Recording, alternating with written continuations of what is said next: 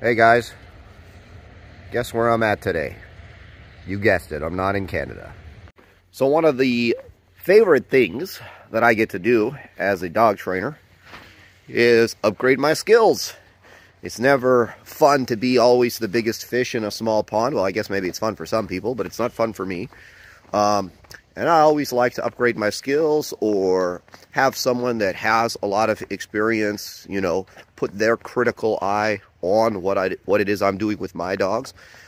So I'm out at something that I do every I would say 3 to 4 times a year um, with my dogs and that is uh, workshops and seminars where I go to, you know, uh, a, a accomplished trainer's workshop or seminar and um, pick up what I can and, you know, have them take a critical look at what it is I'm doing and maybe uh, adjust fire depending on, you know, what it is that, uh, you know, they think and what they say. And I really enjoy doing that as a professional dog trainer. That is still, to this day, one of my most favorite things to do. Um, but yeah, so I'm out here in uh, Ohio and I'm going to a workshop with uh, Stefan, uh, St uh, Stefan Schaub, who is a uh, trainer and breeder from Germany. Uh, he runs the Von der Staatsmacht, which is a, a pretty well-known uh, uh, German Shepherd kennel. Anyways, I'm here with a couple of my friends, and um, you know we've got we've got a truck, we've got a dog trailer. You guys can see that all the dogs are in there, and um, yeah, one of I go usually with a couple of buddies, and we go and enjoy training, so on and so forth. I have a small training group that comes and trains with me, and we like to go to these workshops from time to time. Some of you guys are going to ask the rig. So this is actually Carson's rig. Carson's one of my buddies. So um, he's got the dog trailer. I have a WT Metal. He's got the new Metbox dog trailer. They're kind of very similar. I mean, obviously his is a lot newer, more modern, so it's got, you know, the LEDs and all that kind of stuff. The great thing about, and then you know, he's got the, the Dodge Ram. I'm in a Yukon now, so, because I got too many kids, but uh, he gets to still drive a pickup truck. And he's got the dog box in the back. I love this kind of setup because um, it's all weather, basically. I mean, maybe if you went down to Florida, you'd need to do something a little more than that. But, you know, if you see um, these boxes, these are all insulated. So, you know, I'm sure you guys can see the straw here. I'm going to open Yaxi's box shortly. And um, one thing you'll see is super warm, right? Like when you put your hand in there, it's like a nice, warm, um, like the dogs are nice and warm, um, you know. And then in the summertime, that insulation works the other way. It keeps them nice and cool. And then there's a there's a cooling fan. You guys can't quite see it there. Let me see if I can open this or is it locked? Oh, they locked the top. Let me see if I can unlock the top. There's Carson all the way out there with his ass hat Vasco. Anyways, what was I saying? Yeah, so there's a cooling fan here that sucks all the hot air out. So it's these are pretty cool trailers. You can only get them uh, in Europe right now. I know that um, the Americans make uh, like Ainsley and they make some some dog trailer dog stuff for bird dogs, but it tends to be really heavy duty, like in terms of like really heavy you know, they a lot of metal and aluminum and stuff like that. So they're not as lightweight. These things are so lightweight, you can pull these with like a Hyundai, you know, two-door sedan. So there's Gagey. A little bit of a different vibe than uh, Yaxie, as you can see. but uh, yeah, so there's Gage. So it was unlocked. All right, guys. So that's what the top of a dog trailer, well, a modern dog trailer looks like. I mean, Carson just got this thing, so it's pretty nice. Um, so you got stuff for, you know, you can see where the fans are. You know, they got the lights and there's temperature in there so you can see what the temperature is and, you know, all that type of stuff. So anyways, for those of you wondering how we travel with five or six dogs, this is how it's done. All right, we're feeding these guys. For those of you asking, Royal Canin is what I feed. Put a little water in it, throw it in the box with the dog, and that's breakfast with a little bit of hydration.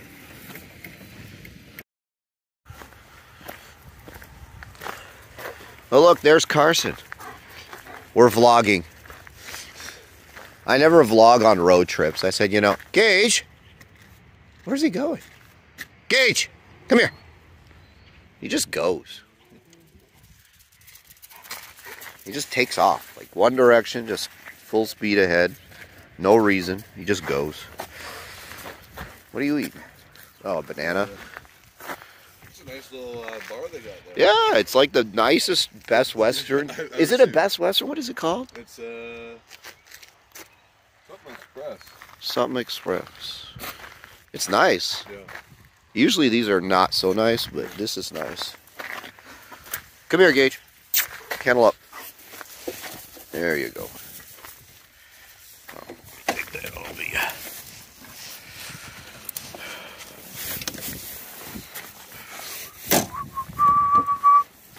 You leave that on? Road trip 2023. There's Yaxi going for his morning potty break. Hey, Yaxie, come say hi to everybody. There you are. You big puppy. You big silly puppy. Yeah, you're a big silly puppy. Whoa! You almost got the phone.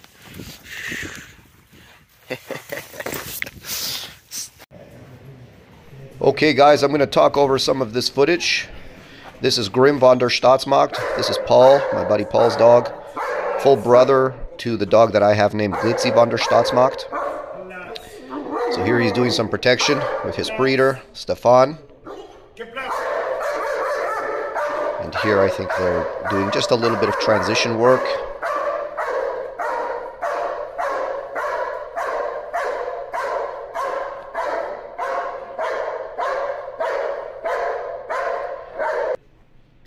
Paul's doing some dumbbells here with Grim. He just started the dumbbells. Here's Grim doing some protection where Paul almost got killed here. he was dying.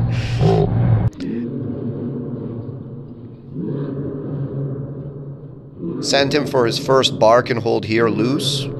It went very well. One thing I really like about Grim, other than how uh, pretty he is, is the grips. He has such fantastic grips, as a lot of Von der Staatsmacht dogs do. First outs, you can see that. And he came out a little angry. This dog has matured really nicely. So this is Yaxie, guys. I just had a little footage of Yaxie, even though he really did great on this uh, workshop. Um, as you can see, the barking's coming along very nicely with Yaxie here.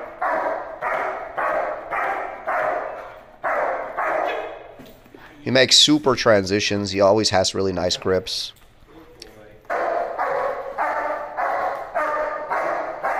I think Stefan liked Yaxie. There's a fair bit of Staatsmacht blood actually on both sides of Yaxie's pedigree, along with some other dogs. You guys can check it out if you want. So here's Gage.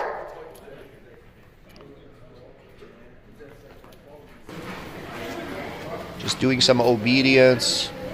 Again, getting ready for the upcoming trial season. Stefan was great help here, just giving me guidance here and there to improve various things. So one, the first you turned, you was too fast into the video. I would have like stopped there, I would make a side step, you know? Okay. When you turned, he was a little, he was a perfect turning. So when you turn there, I would wait a moment, go to the side, and I push him harder, and go turn again. Some protection with Gage. Again, just working on refining a lot of what's already there.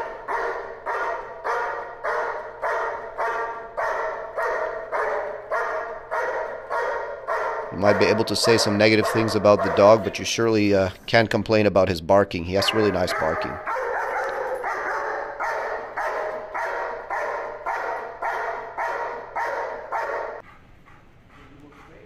Doing some escapes here with Stefan. Really, really happy with how the grip and the escape has come along.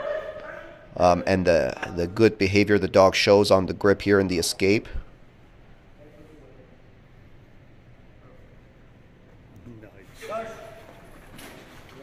We really worked a lot on this, getting the dog to get behind the helper. Not just in this seminar, but in, in all his development.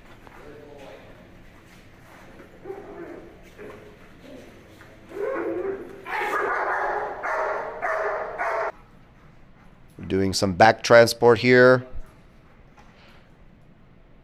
I think for me, this is one of his strongest exercises. Watch him uh, have a little bobble at the upcoming trial just because I said that.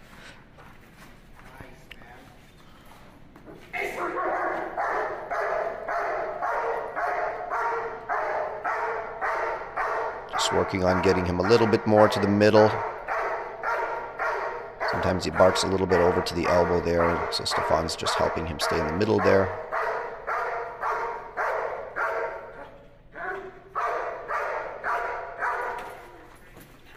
Nice. Just helping him with that transition, making the miss, building some more expectation. So back to obedience.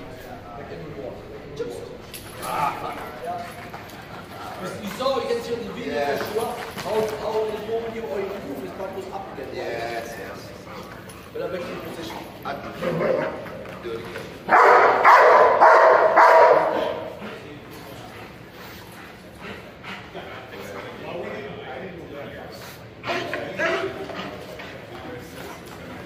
Sit. Really good. Walk a little calmer there, a little calmer. Okay. Sit.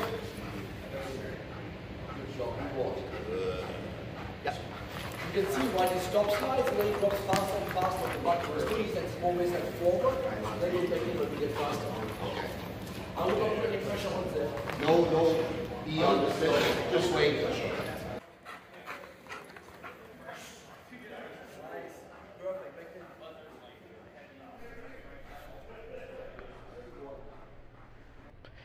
Okay, guys, so this is Carson's dog, Vasco von Kletel.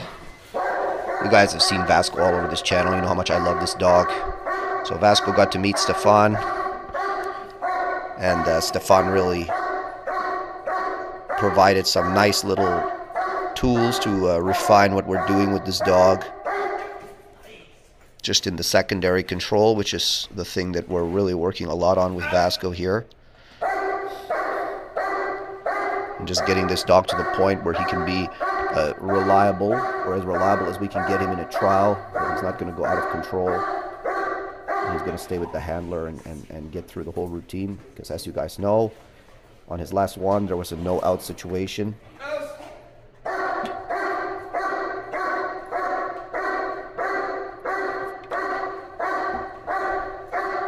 Carson and Vasco really had a good time on this seminar. It's all about making functional progress and, and, and having a good plan moving forward for what exactly we're going to do to maximize this, the potential for success of the dog and the handler. And again, Stefan was very helpful with that. Stefan's really good with these types of dogs. Um, you know, he, he provided, like I said, some really good solutions to uh, some things that we were working on.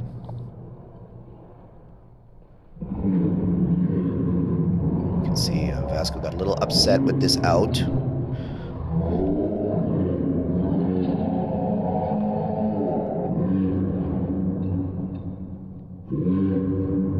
When Vasco's barking in front of you, you really feel it.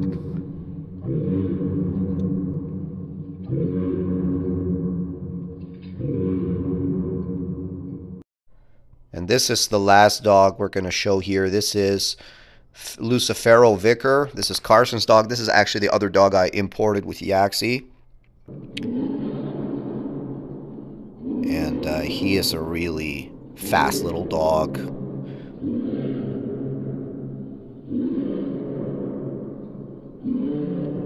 You guys are going to see more of Pharaoh soon. We've been working on a few things.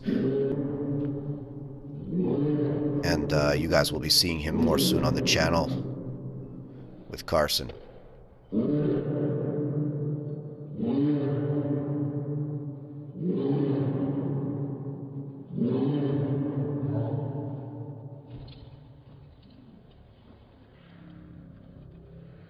Okay, guys, let's talk about seminars and workshops before we wrap up here. First of all, before I get into this, I would like to thank Barb and Dan Osterreicher for hosting uh, this workshop with Stefan and opening their home to us. Um, it was fantastic. Barb serves a fantastic lunch if you ever go to her workshops. Um, with Stefan, I strongly suggest that uh, uh, you hit them up, and and uh, you know she makes a fantastic lunch, and she's super welcoming, and Dan's an awesome guy too. And then of course Stefan. Um, Stefan is a, a, you know fantastic trainer. I've talked about him a lot before, and, and you know what I think about his breeding program. You know I have dogs um, that have his lines and and so on and so forth. You know I'm gonna sit down hopefully with Stefan at some point soon if he's willing, of course, and we're going to talk about all things training and breeding. Um, this workshop, of course, he was super busy, and I know he was tired from all the training he was doing, so I didn't want to bother him this time. Um, hopefully, next time, I'd like to have him out to my place again. As you guys may know, may or may not know, I did have him out to my place. Um, was it a, year, a couple years ago? And um, now that we have a nice new facility here, I'd like to have him out again because uh, having a seminar will be a lot more comfortable and convenient for everybody. Uh, that being said, let's talk about seminars and workshops. So I think a lot of trainers, especially once you get to a certain level, you're kind of almost I, I, see a lot of trainers they're almost embarrassed to admit that they learned something from somebody because they kind of reach this point where like they're this all-knowing you know guru or god to their followers. And i've never claimed to be that guy. Um, you know i really am I, I never hide that i go and i learn things from a lot of different people and i will continue to do so as long as i'm involved in dogs. I can't imagine anything more boring than not having anything more to learn or, or, or, or any more tricks or tips to pick up any way to expedite the things that i'm already doing so um, it's important, of course, to always uh, to always seek to further yourself and to further your knowledge. Here's the other thing that I want to say: a lot of people. This is the mistake I think a lot of people do with seminars and workshops is they're a lost little bird and they're they're looking for a nest and they fly from seminar to seminar to workshop to workshop just looking for some you know guru to guide them to the promised land and inevitably it's just a failure all the time because they just they change they're constantly changing everything I don't change everything I'm doing. I actually have a direction that I'm going. Um, me and my little training group, we have a foundation of where we're going and what we're doing, and uh, we believe in that. And what we're looking for in seminars and workshops is an expedi- ex- expedition of what we're doing. Because there's always a better way. There's always a little thing that maybe you could change. You know, maybe you guys saw I was working on the sit in motion. My sit in motion has always been something I struggled a little bit with with um, Gage. Um, and uh, it's always been a little bit slower than I would like. And uh, Stefan had some fantastic tips for how to speed that up. And that's just one example, you know, when you go and you work with an accomplished trainer that has has has has helped a lot of people in in that specific um, area that you're working in, they'll always have something that you can take. Even if you don't take it for your dog, you're going to take it for another dog maybe that you work with. I took things I know away from this seminar that I'm going to use, even if not with my dogs, with another dog that I'm training or, or with another person that I'm, I'm, I'm helping or coaching in the future. So it's really really important. Um, you know, the one thing I will say about this seminar is it really clicked with what me and uh, Carson and Paul are already doing um, it, it clicked like the the things that uh, you know Stefan Das really clicked already with the, the system and the, and the direction that we're going and it really worked very well. There's a lot of accomplished trainers you know very successful trainers. Maybe they're doing something completely completely different and their system of communication with the dog is is, is just ra- so radically different than the system that we've established with our dogs that maybe if we went and, and trained with them it wouldn't work out so well. But with Stefan, he kind of really met us where we were at and just pushed us a little bit further down the road. So it was really good for us. Um, you know, I guess my point is don't be a lost little bird. You know, I'm not saying you shouldn't go to a seminar if you don't know anything. For sure you should, but don't always go looking for your next guru. You should, you know, commit to something, right? There's a lot of different roads to Rome. There's a lot of different trainers, a lot of different methods. Pick a trainer that's successful and commit to the process with them. And then, you know, once you've established a strong and firm base of knowledge and you've really committed to that system and you've done a lot in that system, you've trialed maybe a couple of dogs, then go to other systems and learn from them. But don't learn from them with the idea that you're going to throw everything out and just completely take something on that's new because that's not going to be good for you or for your dog. Okay, guys, so I'd like to wrap this up. Once again, uh, I hope I made myself clear in relationship to workshops. Danny, why don't you just be in the video? Why don't you just be in the video? Look at you. Daddy. Yeah, yeah, there you go. All right, guys. So I hope I've made myself clear in relation to workshops and seminars. Um, I think a very valuable resource um, that all professional trainers and hobbyists should certainly take advantage of if they can, and ensuring that you have a, a solid foundation and a direction that you're heading in. You know, I see a lot of people show up to these things and they're like, dog knows nothing and they know nothing. And maybe that's fine to do once or twice, but like, you don't want to continuously do that and you're just working on, you know, the basic fundamentals that you should have already taken care of had you been sufficiently motivated um, to do so. And I see a lot of people, it's like, you don't need to come to a seminar for this work. This is something that you should have already done on your own. And, um, you know, so I strongly suggest, uh, you know, make the trainer's life easier, make your life easier, you know, get the most you can out of it by, by, by doing your homework, doing your work. I know, man. What are you doing? You guys remember Dan, eh? He was uh, he was the baby I used in the dogs and baby video on my Instagram. So he's a little bit bigger now. As you guys can see, he's walking around. Anyways, guys, um, I'll be uh, I'll be I'll be on here again soon. But uh, just a little update on on what we've been up to here, and uh, nice talking to you all. Oh, I guess I should mention, no nonsense dog training. Check out the book. Um, so far, it's getting really good reviews. People are really enjoying it. Um, if you want to check out our online training, shieldk9.ca, uh, and you can see our online training. Man, I'm really bad at doing these like promotional things, but uh, hey, it is what it is, I guess.